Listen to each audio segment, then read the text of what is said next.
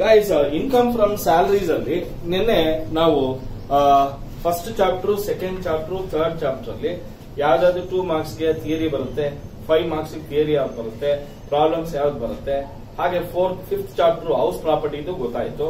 ಈಗ ಬಾಕಿ ಉಳಿದಿರೋದು ನಾಲ್ಕನೇ chapter income from salary two ಮಾರ್ಕ್ಸ್ಗೆ ಯಾವ್ದ್ಯಾವ್ದು ಇಂಪಾರ್ಟೆಂಟ್ ಕ್ವಶನ್ಸ್ ನೋಡಿ ಬರಬಹುದು ಬರ್ದೇನೋ ಇರಬಹುದು ಮೊದಲನೇದು ವಾಟ್ ಈಸ್ ಅಲೋವೆನ್ಸ್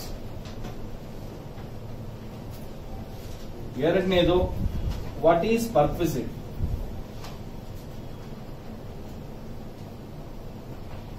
ಮೂರನೇದು who is a specified employee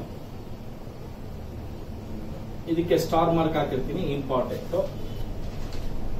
what is deduction under section sixteen next give any two exempted purposes exempted purposes ಆರನೇದು what is arrears of salary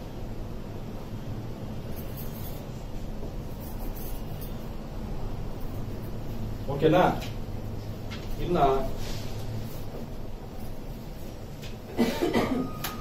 expand expand CBDT ಮತ್ತೆ PAN permanent account number ಓಕೆನಾ ಇನ್ನ ಏನ್ ಕೇಳುವಂತ ಸಾಧ್ಯತೆಗಳು ಇದೆ ಅಂತ ಹೇಳಿದ್ರೆ ದೇವರೊಳಗೂ ಇನ್ನೇನಿಲ್ಲಪ್ಪ. ಓಕೆನಾ ಇನ್ನ ಕ್ವಶನ್ ಇದು ಈ ಚಾಪ್ಟರ್ದಲ್ಲ ಫೈವ್ ಮಾರ್ಕ್ಸ್ಗೆ ಇದು ಆಕ್ಚುಲ್ ಆಗಿ ಥರ್ಡ್ ಚಾಪ್ಟರ್ ಅಲ್ಲಿ ಬರುತ್ತೆ. Explain the powers and duties of CBDT powers and duties of CBDT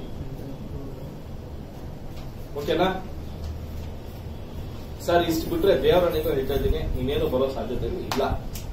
ಈ ವರ್ಷ ನನಗೆ ಗೊತ್ತಿರೋ ಪ್ರಕಾರ who is a specified employee specified employee ಯಾರು ಅಂತ ಹೇಳಿದ್ರೆ a person who is a specified employee ಅಂದ್ರೆ a specified employee is one who is an employee cum director of the company ಅದೇ ಕಂಪನಿ ಅದೇ ಕಂಪನಿನಲ್ಲಿ ಅವನು ಎಂಪ್ಲಾಯಿನೂ ಆಗಿರಬೇಕು ಡೈರೆಕ್ಟರ್ ಆಗಿದ್ರೆ ಅವನ ಸ್ಪೆಸಿಫೈಡ್ ಎಂಪ್ಲಾಯಿ ಅಂತ ಕರಿತೀನಿ ಎರಡನೇದು a person who is having substantial shares of that particular company ಅವನು ಯಾವ ಕಂಪನಿಲಿ ಎಂಪ್ಲಾಯಿ ಆಗಿದ್ದಾನೆ, ಆ ಕಂಪನಿನಲ್ಲಿ ಜಾಸ್ತಿ ಶೇರ್ಸ್ ಅವನು ಪರ್ಚೇಸ್ ಮಾಡಿದ್ರೆ ಅವನು ಕೂಡ ಸ್ಪೆಸಿಫೈಡ್ ಎಂಪ್ಲಾಯಿ ಅಂತ ಹೇಳ್ತೀವಿ.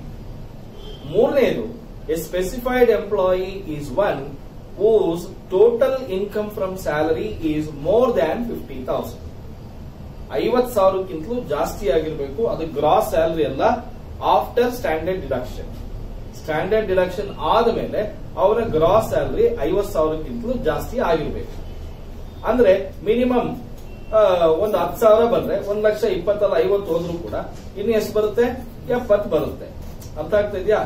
ಸೊ ಇಷ್ಟು who is a specified employee ಎರಡನೇದು what is an allowance allowance is a cash benefit paid by employer to employee for a specific reason or a specific purpose for to an employee is called as a allowance. Perquisite ಅಂತ ಹೇಳಿದ್ರೆ it is a kind benefit or a service benefit given by employer to employee is called as a perquisite. Perquisite is also called as an amenity or a facilities. Next, to what is under section 16 under section 16 there are three deductions are provided. One is standard deduction of rupees 50,000. Second one is professional taxes paid. Third one is entertainment allowance only for government employees. This is the two marks.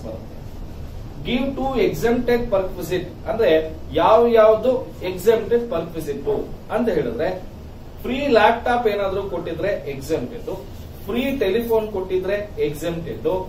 Medical expenses medical insurance ಏನಾದ್ರೂ ಕೊಟ್ಟಿದ್ರೆ exempted ಅರ್ಥ ಆಗ್ತಿದೆ? Exempted ನೋಡಿ ಆಗ್ಲೇ ಮೂರು ಹೇಳ್ಬಿಟ್ಟೆ. ಯಾವ್ದಾದ್ರು ಎರಡು ಬರೋದ್ರು ಸಾಕು. ಯಾವ್ದಾದ್ರು ಫ್ರೀ ಲ್ಯಾಪ್ಟಾಪ್ ಫ್ರೀ ಟೆಲಿಫೋನು ಮತ್ತೆ ಮೆಡಿಕಲ್ ಇನ್ಶೂರೆನ್ಸ್ ಮೆಡಿಕಲ್ ಇನ್ಶೂರೆನ್ಸ್ ಇವು ಕೊಟ್ರೆ ಎಕ್ಸಮ್ಟೆಡ್ ಆಗುತ್ತೆ. ಹಾಗೆ ಫ್ರೀ ಲಂಚ್ ಏನಾದ್ರು ರಿಮೋಟ್ ಏರಿಯಾನಲ್ಲಿ ಆಫೀಸು ರಿಮೋಟ್ ಏರಿಯಾನಲ್ಲಿ ಇತ್ತು ಅಂತ ಇಟ್ಕೊಳ್ಳಿ ಎಲ್ಲಿ ರಿಮೋಟ್ ಏರಿಯಾನಲ್ಲಿ ಇದ್ರೆ, ಆಗ ಅಂತ ಎಂಪ್ಲಾಯಿ ಎಂಪ್ಲಾಯಿಗೆ ಕಂಪನಿಯವರು ಫ್ರೀ ಆಗಿ ಲಂಚ್ ಪ್ರೊವೈಡ್ ಮಾಡ್ತಾ ಇದ್ರೆ ಮೀಲ್ಸ್ ಪ್ರೊವೈಡ್ ಮಾಡ್ತಾ ಇದ್ರೆ, ಅದು ಕೂಡ ಎಕ್ಸೆಂಪ್ಟೆಡ್ ಆಗುತ್ತೆ. ಅರ್ಥ ಆಯ್ತಾ ಎಲ್ಲರಿಗೂ? What is arrears of salary ಅಂದ್ರೆ salary of pre preceding to the previous year which is receive during the previous year ಅಂದ್ರೆ ಹಿಂದಿನ ವರ್ಷದ ಸ್ಯಾಲರಿ ಕೊಡದಂಗೆ ಈ ವರ್ಷ ಏನಾದ್ರೂ ತಗೊಂಡ್ಬಂದಿದ್ರು ಬಂದಿದ್ರೆ ಅದನ್ನ ನಾವು ಅರಿಯರ್ಸ್ ಆಫ್ ಸ್ಯಾಲರಿ ಅಂತ ಹೇಳ್ತೀವಿ. ಸಿಬಿಡಿಟಿ ಅಂದ್ರೆ central board of direct taxes PAN ಅಂದ್ರೆ ಪರ್ಮನೆಂಟ್ ಅಕೌಂಟ್ ನಂಬರ್ ಓಕೆನಾ ಇನ್ನ powers and duties of CBDT ಅದು ಬುಕ್ ಅಲ್ಲಿ ಎತ್ಕೊಂಡು ಓದಿದ್ರೆ ಗೊತ್ತಾಗ್ಬಿಡುತ್ತೆ. ಓಕೆನಾ ಇಷ್ಟು ಇನ್ಕಮ್ ಫ್ರಮ್ ಸ್ಯಾಲರೀಸ್ನಲ್ಲಿ ನಾನ್ ನಿಮಗೆ ಏನ್ ಮಾಡಬಹುದು ಹೇಳ್ಬೋದು. ಓಕೆನಾ guys Okay, thank you. Bye bye.